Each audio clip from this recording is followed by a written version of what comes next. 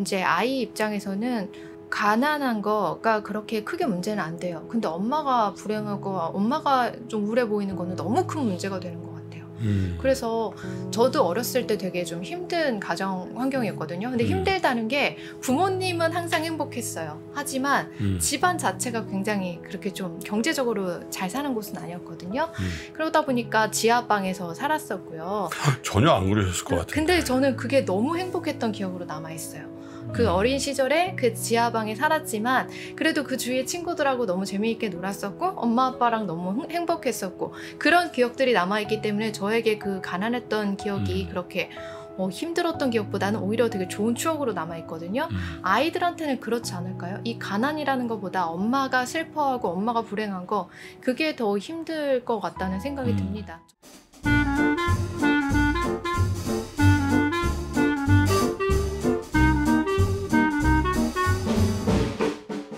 자, 다섯 번째 김프로의 3프로 상담소 2부의 순서 문을 활짝 열어 드릴 텐데요.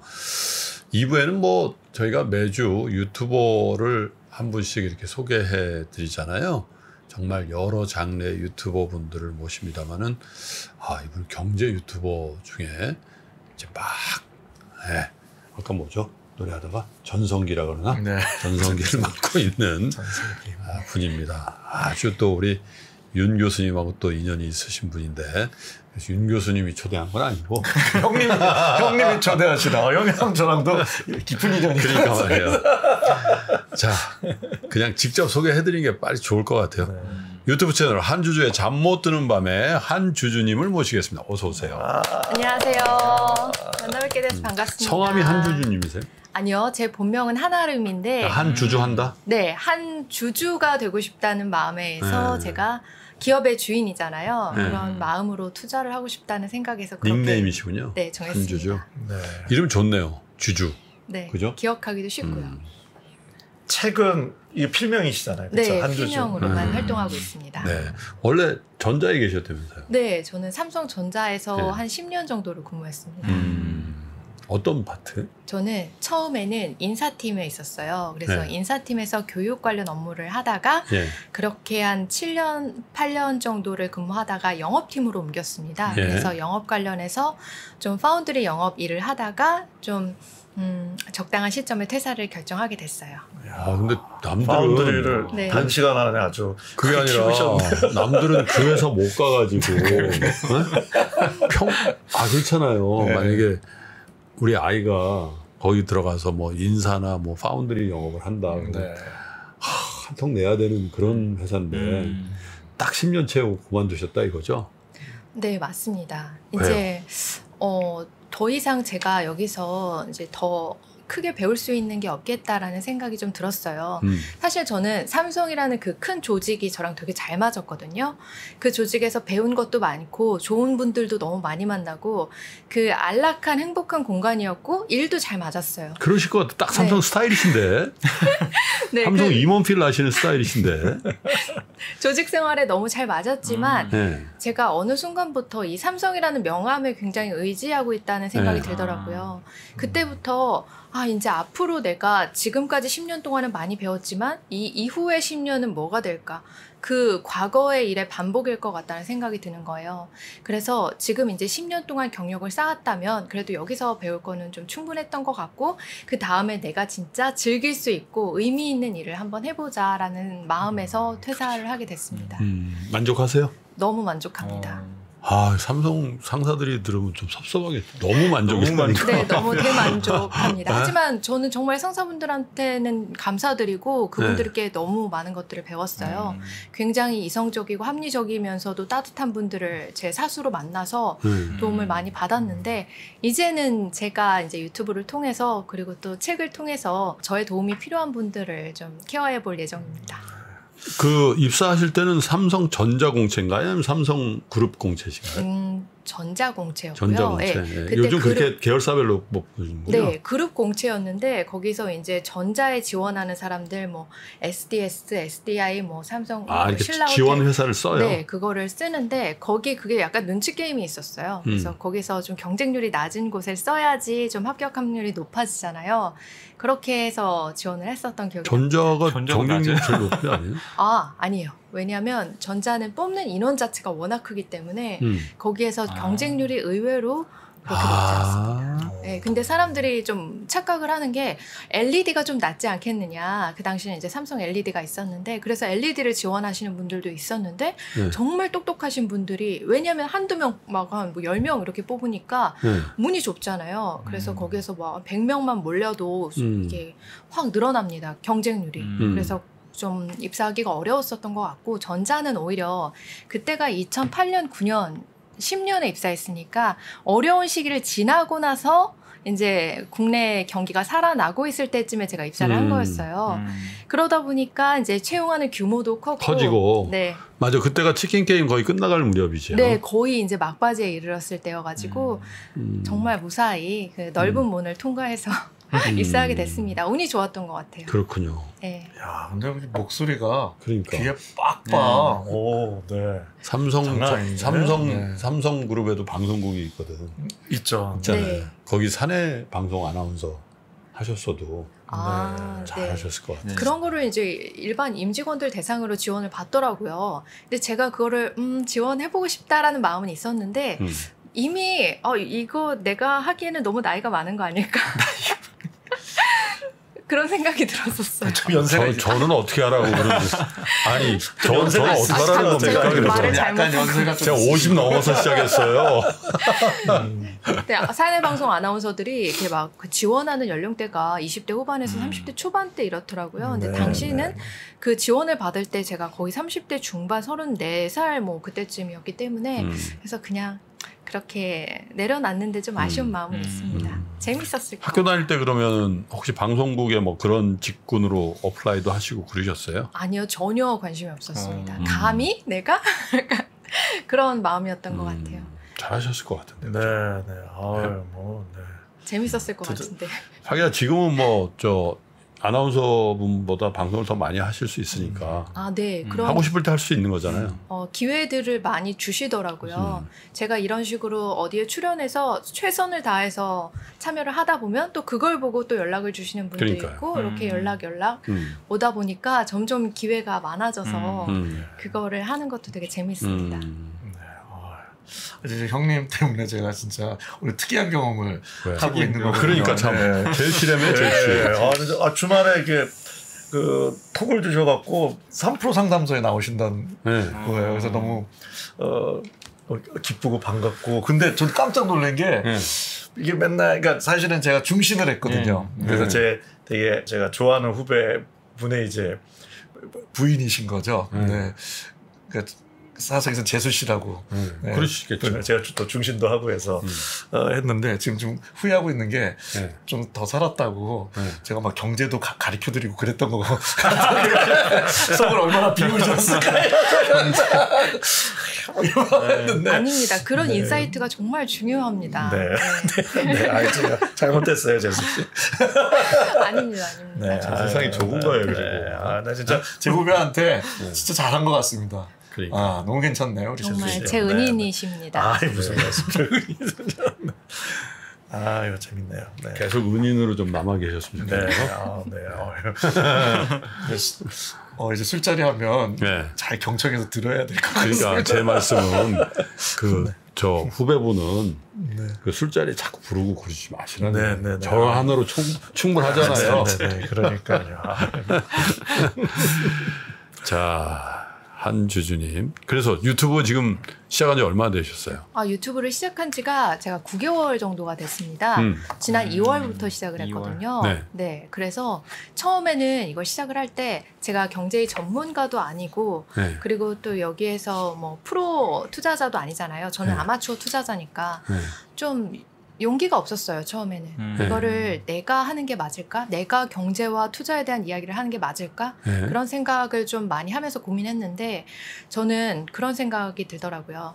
이렇게 좀 보통 사람들, 보통 회사원들의 투자 이야기, 그리고 어떤 할머니 할아버지의 투자 이야기, 그리고 또 어떤 뭐 사업하시는 분들의 투자 이야기, 이런 네. 다양한 분야에 종사하는 분들의 투자 이야기를 듣는 게 네. 그렇게 유튜브에 참여하시는 분들이 원하시는 바가 아닐까 그렇게 생각을 해서 음. 저는 이제 저만의 insight를 또 나눠주는 거에 의미를 부여해서 그렇게 용기를 내가지고 네. 시작했습니다. 음.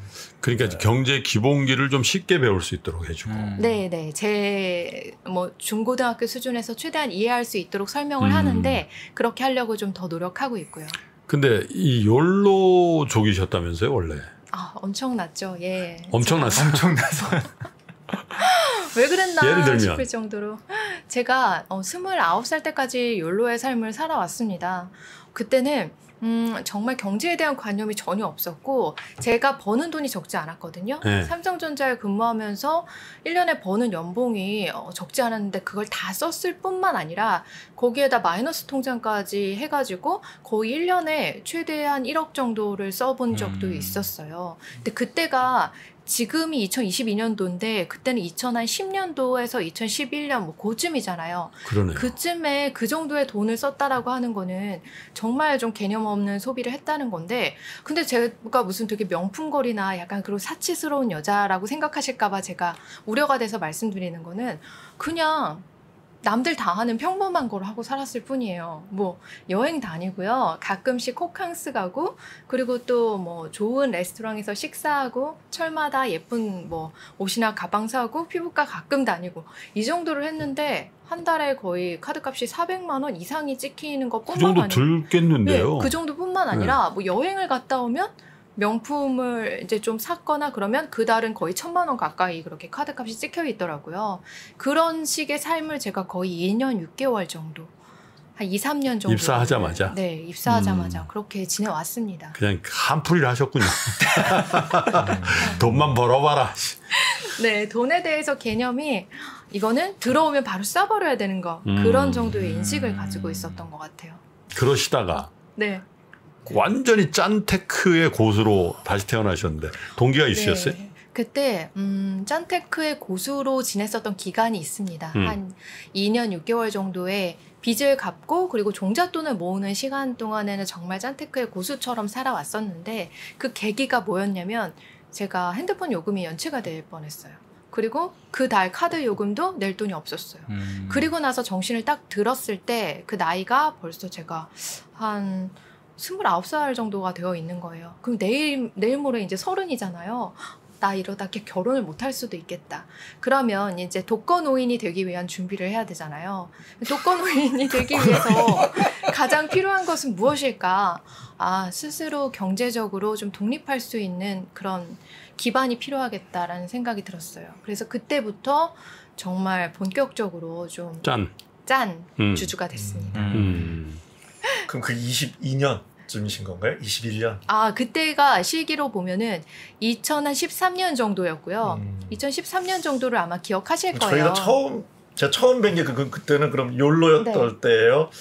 그때 그 이제 딱 넘어갔을 전환기. 때 그러니까 딱 그때는, 전환기였어요. 네. 욜로 아니신. 예, 그때는 딱 이제 네. 정신을 차리고 네. 이제 바짝 아 그때 제가 처음 오. 뵀구나. 네. 네 그리고 제가 이렇게 소개를 해드렸는데 제 다행이네. 욜로 때 소개했으면 네. 어, 감당이 안 되셨을 텐데. 저희가 이렇게 막 결혼 축하 이렇게 무슨 모임을 하는데 어 너무 멋있는 거예요.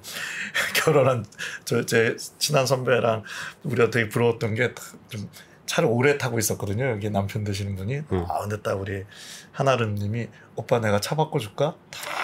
진짜로? 어. 아, 그러니까 저는 월급 타가 나의 욜로를 산거 몰랐네. 아, 그 제가 이 욜로 한때 욜로였어가지고 손이 좀 큽니다. 음. 이야, 오빠 차 바꿔줄까? 음, 어, 죽이지 않아요, 형님? 야. 그래서 짠 테크를 어떻게 어느 정도까지 하셨길래?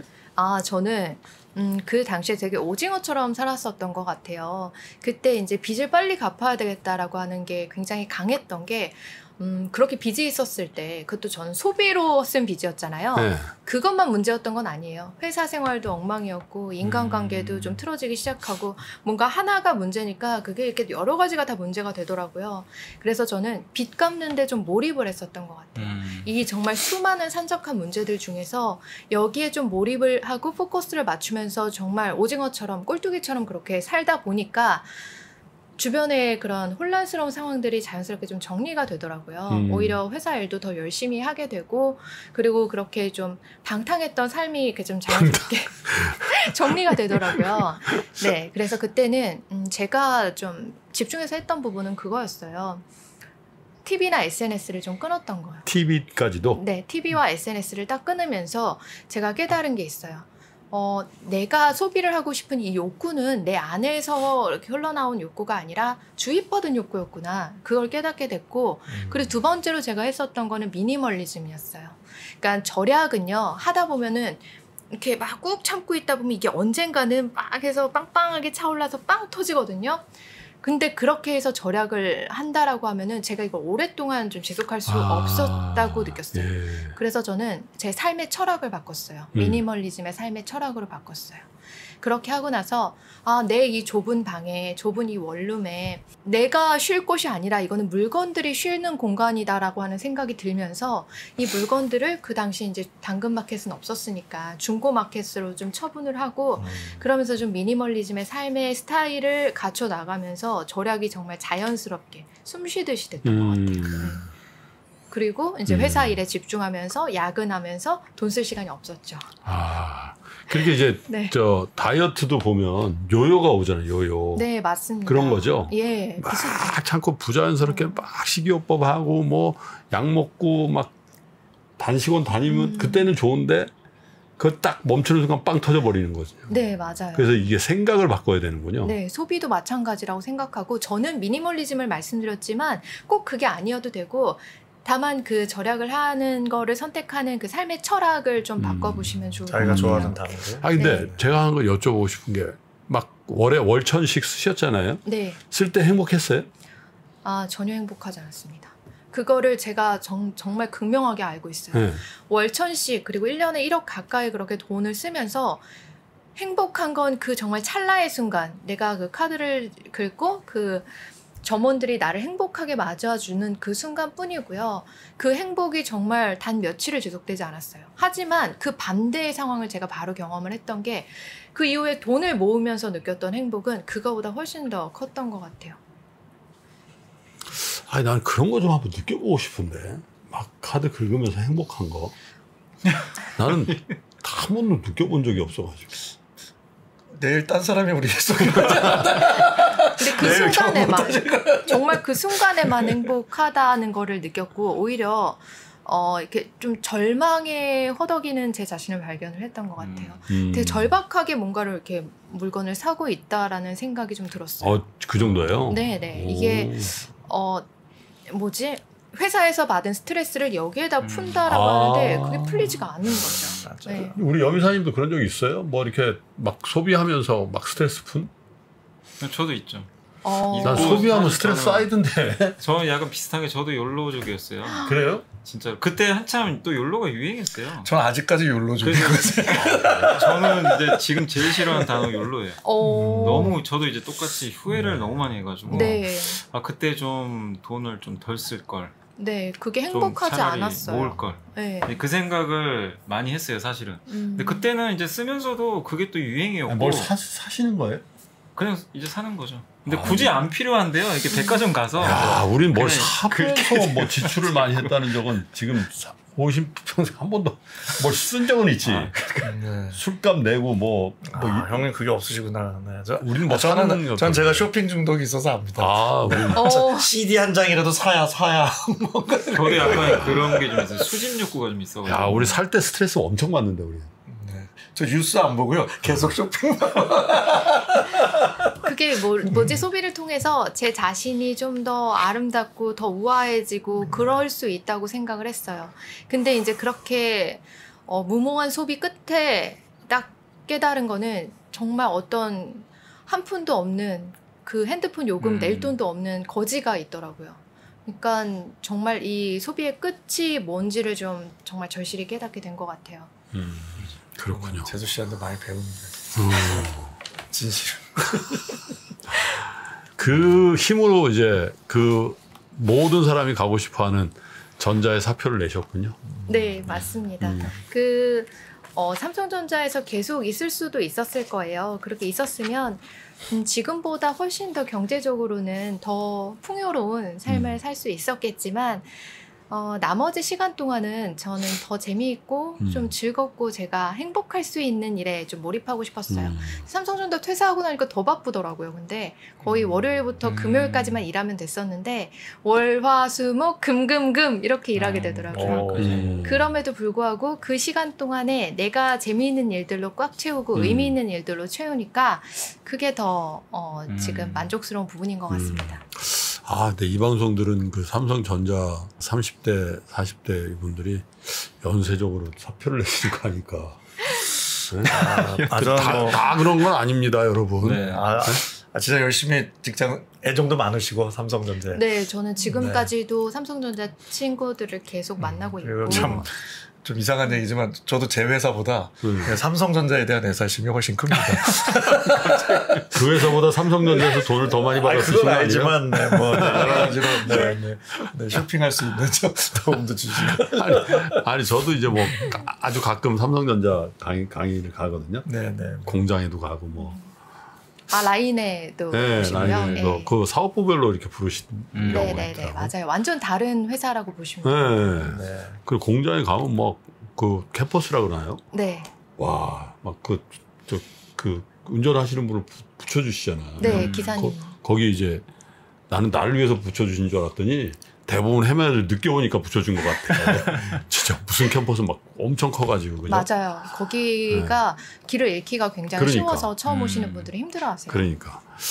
근데 어쨌든 저도 뭐 삼성전자는 아니지만 삼성그룹 공채를 보고 삼성 당시에는 삼성증권이 없었기 때문에 음. 네. 삼성그룹에 가지를 않았던 음. 사연이 있는데 아, 약간 이제 친구들도 워낙 많잖아요.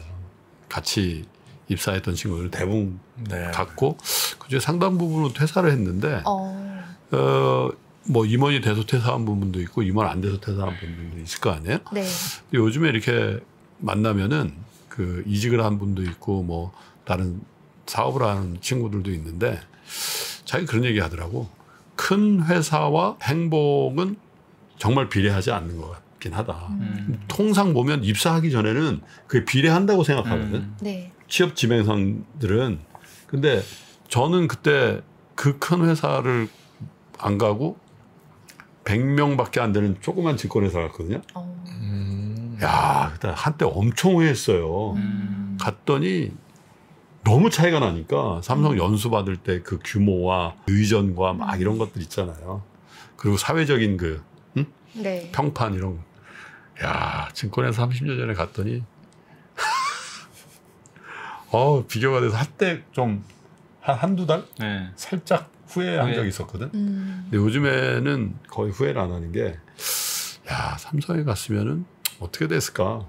근데 더 성공할 수도 있고, 음. 경제적으로 더 윤택할 수도 있는데, 지금껏 30년 동안 내가 해온 그 다양한 경험은 음. 없었으리라. 음. 네, 그런 생각은 들더라고요. 왜냐하면 친구들을 보니까. 네, 음, 맞습니다. 그게 뭔지 되게 절실히 느끼는 게 음, 저도 삼성전자에 있다가 나와 보니까 모든 거를 다 새로 처음 해야 되게 됐어요. 음, 음. 책 쓰는 것도 뭔가 처음이었고 강의를 하는 것도 그 또 바깥에서 하는 스타일은 또 다르더라고요. 음. 그런 것도 있었고 또 대화를 하는 거라든지 이렇게 말하는 거라든지 그러니까. 네, 그런 것들도 다 좀 달랐기 때문에 음. 어떻게 다른가요? 사내 강의랑 네. 실제 외부 아 실제 음, 좀더 이렇게 쇼처럼 관중들이 이렇게 음. 집중할 수 있도록 프레젠테이션을 만든다던가 음. 그렇게 해야 할 것 같아서 그런 이제 프레젠테이션을 위한 강의까지도 제가 따로 들었을 만큼 듣고, 완전히 그냥 정말 처음에 나와가지고 막 이렇게 아등바등하는 그런 사업가처럼 1인 사업가처럼 그렇게 새롭게 시작을 했어요. 그 과정을 음. 거치셔야죠, 뭐. 그 과정이 어쨌든. 필요할 것 같아요. 그쵸? 네. 네.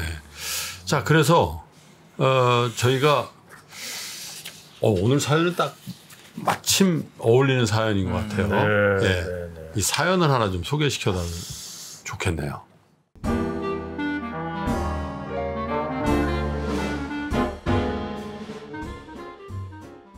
안녕하세요. 저는 41세 여성입니다. 저는 호주에서 살다가 한국으로 입국했습니다. 당분간은 장기로 한국에 있을 생각을 하고 있어요. 지난 3월 청청병력 같은 소식, 엄마가 암에 걸렸다는 말을 듣고 지난 4월에 득달같이 한국에 왔어요. 이미 항암 치료를 하고 계신 상태였고 몰라보게 야윈 엄마는 정말 힘들어 보이셨어요. 그래도 치료만 잘하면 수술할 수 있을 거라는 말에 희망을 갖고 열심히 치료에 임했지만 상황이 악화됐다, 좋아졌다를 반복하면서 어떤 전개로 또 저희를 놀라게 할지 몰라 하루하루 마음 졸이며 살아가고 있습니다. 또 저는 아이가 있어요. 이제 27개월 된 딸입니다. 어찌나 이 아이가 고마운지. 요새는 저에게 엄마, 내가 지켜줄게. 걱정하지 마. 라며 큰 효도를 매일매일 하고 음. 있습니다. 정말 다행히도 이 아이가 저의 엄마의 큰 기쁨이기도 해요.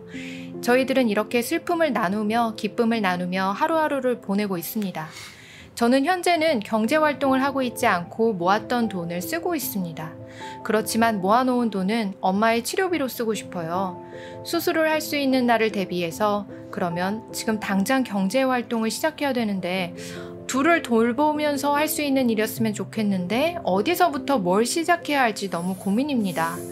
전공을 살리기에는 시간이 제약을 받고 밖에 나가서 아르바이트라도 하자니 생활비로는 턱없이 부족한 것 같아요. 저는 제안, 충고 내지는 도움의 말이 필요합니다. 어떻게 하면 최대한 두 사람을 돌보면서 경제 활동도 할 수 있을까요?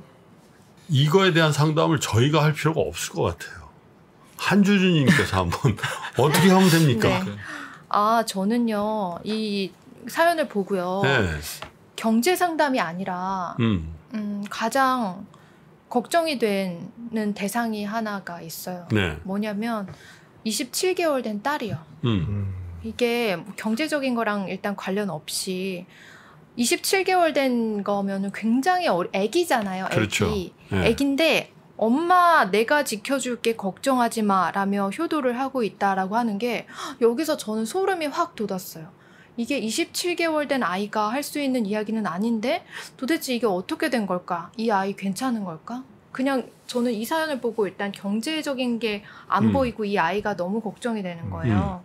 이 엄마는 지금 너무 돌봐야 될 게 많고 경제적으로 어려워서 어, 지금 좀 생각이 분산되어 있다라는 생각이 드는데 어, 가장 먼저 집중해야 될 거는 어, 이 딸에 대한 정신적인 건강의 문제 아닐까라는 생각이 문득 들었어요.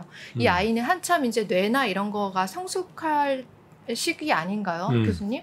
네, 네, 네. 그럼요. 근데 어, 이렇게 뭔가 좀 방치되고 있고 이런 상황인데 이게 괜찮을까 그런 좀 생각이 들어서 어, 여기에 좀 저는 걱정이 어. 되더라고요. 27개월 정도 되면 어떻습니까? 어느 정도죠? 4살 정도 되는 우리 나이로? 그 그렇죠. 정도 되는 네, 거죠? 네, 네. 이때면은 약간 뭐 땡깡을 부리고 좀 음. 엄마한테 막 이렇게 하고 이제 말 막 시작했을 음. 나이니까 이렇게 뭐 사달라고 어리광 부리고 이럴 나이일 것 같은데 그게 좀 정상적인 발달의 단계일 음. 것 같은데 음. 이게 이제 나중에 아이가 지금은 엄, 어머니가 병에 들어있다고 하시는데 이 아이의 병으로 발전할 아. 수도 있지 않을까라는 고민이 너무 되는 음, 거예요. 그렇군요. 네, 네, 네. 엄마 얼굴에 이제 네. 좀 네. 그 그림자가 많으면 네, 아이가 이런 이야기를 할수 음. 있잖아요. 네. 뭐 아니실 수도 있지만 같은 그런 어, 마음으로 우리 한아름 님께서 네, 그, 그렇게 공감해 주시는 것 너무 당연하다 이렇게 생각이 음. 네. 되는데요. 아 그래서 저는 경제적인 것도 중요한 것 같아요. 아, 아, 네, 그러니까 경제 활동을 한다는 게 네, 이 실제로 지금 현실적으로 어떤 의미냐면 지금 그러니까 그 엄마 얼굴이 네. 좀 행복해져야 던- 된다고 생각합니다. 음. 아, 저는 자녀를 위해서도 그렇고 자녀가 이제 뭐 내가 지켜줄게보다는 네, 어 엄마 엄마 사는 세상이 재밌어 보여 이게 더전 네. 최고라고 생각하거든요. 그러니까는 네. 네, 어, 되게 엄마를 존경하지만 음. 어, 어, 이 세상이 힘든가 봐 이거보다는 음. 음. 아, 우리 엄마가 좀 날 차라리 덜 봐줘도 좀 음. 재미나게 살고 음. 뭐뭐 세상에 좀 살아볼 좀 뭐가 있나 보네 뭐 이런 음. 어떤 네. 느낌 아직 언어적으로는 네, 네. 어, 아니어도 그래서 저는 아, 너무 희생적이신 분이고 훌륭하신데 이 어떤 자기 이름 석자도 중요하거든요. 이게 음. 사실은 그래서 그런 의미로서도 그렇고 좀. 이 어머님을 좀 도울 수 있는 어 모르겠습니다. 지금 무남 동료신 건지 뭐 이런 그렇죠. 게 그런 전혀 안 나와 네. 있는데 음. 근데 이제 뭐 없어서. 네. 보니까 관계로는 이분이 음. 호주에서 나온 거니까 네, 네. 진짜 나오셔야 될 그래서- 상황이거나 그런 마음이거나. 근데 어쨌든 그래서 이좀 정보가 부족한데 네. 제가 지금 1대1 상황이라면 네. 아, 저는 이런 말씀을 드릴 것 같습니다. 일단은 내가 행복해야 음. 자녀도 잘 키울 수 있고 음, 좋은 어머니한테 병가로도 할 수가 있어요. 음. 네, 음. 네. 경제적으로 쪼들리고 어, 내가 이렇게 희생을 하다 보면은 사실 제일 좋은 게 밝은 표정을 어머니께 음. 져드리는 건데 네. 어머님만 뵙는데 그렇게 나올 수가 없거든요. 그래서 네. 혹시라도 이제 마음이 지치고 번아웃이 되면 어머님한테도 나도 모르게 이렇게 음. 엄마 힘내세요라는 똑같은 멘트지만 거기 이렇게 짜증이 네. 들어갈 수 있거든요. 그래서 저는 음. 오히려 이렇게 간호를 병간호를 하게 되셨을 때 더 즐거운 시간을 늘리라고 이야기를 음. 합니다. 왜냐하면 음. 외부에서 충전이 돼야 음. 안에서 이렇게 할 수 있는 음. 거지 보통 다 끊으시거든요. 네. 효녀일수록 네, 네. 효자일수록 네. 내 아- 부모님이 아프신데 내가 뭐래 내 행복도 끊고 일도 끊고 네. 내가 오히려 집중하겠어라는 게 너무나 아름다운 생각이신데 그것도 중요하지만 실제적인 어떤 좀 효율 음. 전략이 필요하거든요. 돈도 음. 중요하고 나도 음. 재충전이 돼야 음. 잘 일종의 서비스니까 네. 케어 서비스를 네, 네. 할수 있는 거여서 지금 상황은 잘 모르겠는데 네. 네 저는 어머니를 좀 함께 음. 도울 수 있는 어. 그 시스템도 만들었으면 좋겠고 음. 네. 또 그만큼 좀 따님도 좀 잘 하면서 네.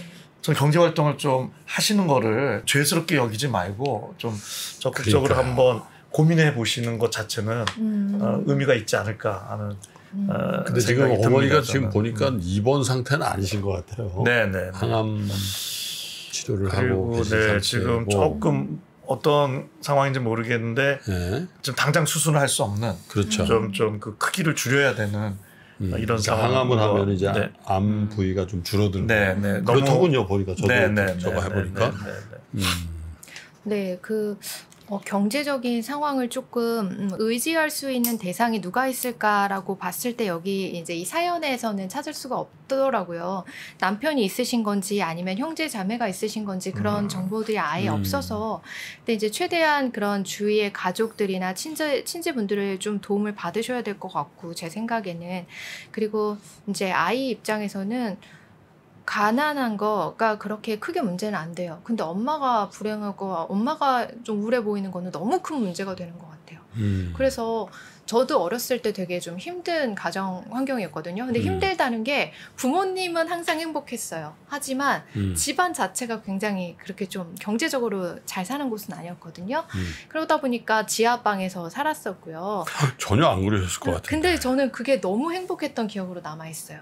그 음. 어린 시절에 그 지하방에 살았지만 그래도 그 주위에 친구들하고 너무 재미있게 놀았었고 엄마 아빠랑 너무 흥- 행복했었고 그런 기억들이 남아있기 때문에 저에게 그 가난했던 기억이 음. 그렇게 어, 힘들었던 기억보다는 오히려 되게 좋은 추억으로 남아있거든요. 음. 아이들한테는 그렇지 않을까요? 이 가난이라는 것보다 엄마가 슬퍼하고 엄마가 불행한 거 그게 더 힘들 것 같다는 생각이 음. 듭니다. 저희가 그 IMF 세대에 이제 어린 시절을 보낸 사람들인데 어 제가 6학년 때 초등학교 5, 6학년 때쯤이 IMF였어요. 그때 그러다 보니까 부모님도 뭐 실직하시고 그렇게 어려운 상황들도 버텨왔었고요. 하지만 그 경제적으로 부모님은 정말 많이 어려우셨을 테지만 그게 저는 그렇게 힘들지 않았어요. 예, 음. 좀뭐 좋은 옷을 못 입고 좋은 뭐 외식을 못 하고 이게 힘들진 않았던 것 같습니다. 음. 음. 네. 부모님을 뵌 적은 없는데 되게 화목한 음. 어, 음. 가정 그러신 것 같아요. 네, 있어요. 하긴 뭐 돈이 네. 많다고 화목하거나 행복한 음. 거하고 물론 확률적인 그런 부분 좀 음. 있겠죠. 그러니까 돈, 때, 돈 돈이 워낙 없으면 이제 에, 사실 화목이 깨질 가능성이 많고 그러면 좋은 기억을 갖기 음. 힘든 상황이 되는데 그게 절대적인 건 아니죠. 아, 그럼요. 음. 네. 아니 돈도 있고 행복하고 긍정적이면 좋으니까. 아니, 최, 네. 최고죠. 그럼에도 불구하고 이제 그것도 그러셨다는 그것도 또 거고. 이런 면도 네. 있, 있는 것 같긴 해요. 이제 지금 그 한주주님이 이제 그래도 이제 경제적인 큰 어려움이 없는 상태가 되셨고 음. 그리고 지금 한, 한국의 굴지의 기업을 다니셨고 그리고 또 뭐 윤 교수님 후배니까 또 어련하시겠어요. 그렇죠? 저보다 훨났죠. 그건 확실합니다. 그런 상태 지금 상태가 괜찮은 거지. 근데 지금 상태가 만약 에 그게 연장이 됐다? 그러면 그 추억도 사실 그렇게 행복한 추억이었을까 이렇게 생각할 수도 있는 것 같아요. 네, 과거의 기억이라는 거는 음. 현재 시점에 일종의 조작이 일어나는 거. 조금 투영되죠. 음, 네. 그죠? 네. 네. 지금 현재가 좋으면 과거가 좀 아름답게 포장되는 음. 경향도 있는 것 같습니다. 그래. 네. 뭐 어쨌든 뭐 과거 기억은 좋은 거는 너무 중요하고요. 네. 네, 네. 네. 그래서 좀 어머니가 음. 이게 좀 이도저도 못하고 있으신 상황인 것 같은데 어, 경제 활동을 하시면서 두 분을 돌보시는 거에 대한 거를 음. 조금 네. 해보는 아, 거좀 장기전으로 네. 생각하는 게 네. 좋겠다. 네. 저도 이제 거기에 동의하는 게 네. 그러니까 우선순위가 경제력은 있어야 돼요. 음. 있어야 음. 되는데 이제 이걸 돌봐야 되니까 이게 좀 음. 이제 상충하는 건데 네, 근데 이제 방금 말씀하신 대로 장기적으로 보려면 음. 어쨌든 직업을 가져야 되거든요. 그게 네, 사소한 아르바이트라고 할지라도 돈이 적더라도 네. 근데 거기서부터 시작하다 보면 또 인생이 어떻게 바뀔지 모릅니다. 음. 일을 하다 보면 이게 그렇지. 또 일하시다가 또 많은 인연들 만나 뵈서 잘 아실 것 같아요. 네. 그래서 그거부터 시작하시고 그리고 주변에 가족이나 이게 도움 받기 어려우면 국가에서 도움 받을 수도 있잖아요. 음. 사실 또 이렇게 어린 딸이 있으면 국가에서도 매달 얼마씩 지급을 해주거든요. 음. 네. 그래서 정부에서 주는 돈도 뭐 그거를 뭐 이상하게 생각하지 마시고 받을 음. 수 있는 돈은 최대한 좀 받으셔가지고 음. 경제적인 도움 하시고 저 안 되면 정말 부족하면 이제 경제적 자립할 때까지 대출 받을 수 있으면 받아야 돼요. 네. 살아야 되니까. 네. 그렇게 해서 어쨌든 음. 자립할 수 있는 토대를 먼저 만드는 게 음. 그게 좀 우선순위인 것 같아요 지금. 아, 저도 짧게 음. 뭐 이미 말씀드린 거지만 두 개만 좀 어, 사연에 대해서 말씀드리고 싶은 거는 첫 번째는 이 되게 공감 능력도 좋고 되게 좋으신 분이에요. 근데 좋으신 분이니까 음. 말씀드리는 건데요. 이 위, 위- 위로라는 게 어, 일정하게 쭉 지속되는 게 필요하고 이게 약간 장기전일 수 있거든요. 그래서 이렇게 좋으신 분들한테 공감 능력이 좋은 분들한테 제가 뭐냐 뭐라고 항상 말씀드리냐면 내가 드릴 수 있는 에너지의 60% 선을 구체적으로 해보고 뭐 음. 예를 들어서 어, 여동생이 매일 좀 힘들 때 전화를 하는데 그게 좀 힘드시다 그러면 60% 선을 얘기해보라 하시면 뭐 2주에 한 번은 전화, 2주에 한 음. 번은 시- 실제로 만나서 식사하는 거 이러면 이제 음. 처음엔 그게 힘들지 모르지만 그렇게 쭉 가는 게 동생분을 위해서도 좋고 어, 관계를 위해서도 좋다. 그거 하나 말씀 음. 드려서 그 60% 선을 좀 하고 싶고요. 지금 그- 그리고 지금 통증이 많으시기 때문에 지금 약간 양자택일인데 같이 할 수 있는 건 없냐고 하셨는데 이게 연구가 되어 있는데 포기하지 마시고요. 어, 나밖에 없어 이렇게 생각하지 마시고 음. 어, 두 사람을 돌보면서 경제 활동도 할 수 있는 게 뭔지 이게 되게 고통스럽거든요. 음. 이 사람이 이두 가지 그 고민을 하는 게. 근데 음. 하여튼 요즘 연구는 그걸 좀 끌어가면 우리 뇌가 좋은 아이디어를 더 음. 잘 내는 걸로 되어 있습니다. 음. 지금 통증이 많으시니까 그래, 에, 그냥 더 케어하자, 희생하자. 뭐 이- 이렇게 딱 결론 내리지 마시고요. 음. 좀더 좀 고민을 많이 해보셨으면 음. 음. 어. 좋겠어요. 네. 아, 어쨌든 근데 좀 어려운 상황이시네요. 근데 이제 뭐 사실 여기에 나와 있는 사연으로는 뭐 가족분들이 어떻게 돼 있는지 또 경제적 환경이 좀 디테일이 없기 때문에 그저 바라기는 어, 한주주님이 얘기한 것처럼 조금 길게 보시고 또 네. 어, 어머니도 중요하지만 딸 아이도 중요하니까 음, 네, 네. 네, 어머니가 아, 지금 사연 주신 분이 딸에게 투영되는 모습이 훨씬 더 조금은 지금보다는 좀 행복했으면 좋겠다 이런 말씀이시고 더불어서 어머니의 병이 좀 쾌차하셨으면 좋겠네요. 쾌차하셔서 이렇게 여자 3대죠. 그죠? 네. 외할머니, 하- 엄마, 외손녀죠. 네. 이제 좀 건강하게 좀 외출도 하시고 또 좋은 시간도 좀 가지시기를 에, 그렇게 바라보겠습니다. 네. 자, 한주님 이렇게 나오셔서 사연도 읽어주시고 또 진심 어린 상담도 해주셨는데요. 유튜브 구독자 여러분들에게 인사 좀 한번 하세요. 한주주의 뭐라 그러셨죠? 잠 못 드는 밤. 잠 못 드는 밤. 음. 네. 꼭 라디오 네. 네. 그 심야 프로그램 네, 네, 네. 그 제목 같아요. 네. 별밤 느낌 난다. 약간 그런 거를 의도했던 것 같아요. 제가 이제 바라는 바가 아무래도 음, 이렇게 라디오에서 밤에 DJ를 한번 해보고 싶다 그런 생각을 항상 했었기 때문에 어, 이렇게 좀 감성적인 제목, 감성적인 그 유튜브 메인 그 제목을 정했는데요. 음. 한 주제 잠 못 드는 밤이 또 어떤 의미가 있냐면 이렇게 미국 주식 투자하시는 분들이 계시잖아요. 음. 그 미국 주식 투자하시는 분들이 또 가끔씩 밤에 잠을 못 드십니다. 그래서 그런 분들에게 제가 이제 그 밤에 친구가 되드리고 싶다라는 마음도 좀 담아서 음. 그렇게 경제와 투자 관련된 유튜브를 운영하고 있습니다. 어, 제가 아까 앞서도 말씀드렸지만 전문가나 막 그렇게 엄청 프로 투자자는 아니지만 제가 또 적지 않은 기간 동안 투자해 왔었던 저만의 insight와 경험이 있으니까 거기에서도 또 어느 정도 도움을 받으시는 분, 부분이 있을 거예요. 그 세상에는 전문가들에게 받을 수 있는 도움도 있지만 그 전문가가 아니라 일반 사람들이 생각하는 그 경제에 대한 이야기가 이 우리 주식시장의 온도를 또 결정하기도 하거든요. 그래서 그런 것들을 생각했을 때 제 유튜브 잠 못 드는 밤도 좀 도움이 될 수 있을 거라고 네. 봅니다. 그럴 것 같은데요. 네, 아, 너무 그러니까 아, 제가 그 최근에 그 논문이 정말 준비된 유튜브신 것 같아. 예, 아 제가 음. 전 이전 모습도 알기 때문에 요즘 우리가 그 안에 우리가 뭐 다중인격은 이상하다 다중이 이러는데 제가 최근에 그 경영 심리 잡자나 읽은 거에 워낙 우리가 아이덴티티가 여러 개. 래요 워낙 네 그래서 때로는 뭐 그게 이제 좀 하고 싶은 일이 게 오를 때 우리가 억누르는 경향이 있다는 거죠 그래서 음. 그런 것도 좀 변화를 꾀하는 것도 하나의 방법이다 이런 제가 그러니까. 그걸 읽었는데 그 사례신 것 같습니다. 너무 변했어. 다중. 그, 아, 근데 그 안에 좋은 있었겠죠. 의- 좋은 의미로 그런 와, 거죠. 완전요. 네. 아나운서님 같기도 하고 방송 진행자 같기도 아니까 하고. 내가 네, 네. 삼성전자 인재개발 쪽에 있었다는 게 상상이 안 된다니까. 저도 그쪽에 몇번 만나 네, 뵀잖아요. 네, 네. 변신 성공. 축하드려요. 인생, 인생 이모작. 자, 한주주님의 잠 못 드는 밤도 많이 사랑해 주시고요. 또 도움 많이 받으셨으면 좋겠습니다. 고맙습니다. 네, 감사합니다. 네. 감사합니다. 자, 3프로 상담소는 아, 이렇게 여러분들의 많은 참여로 만들어가는 프로그램이죠. 지금 화면 하단에 3프로 상담소 공식 이메일이 나가고 있습니다.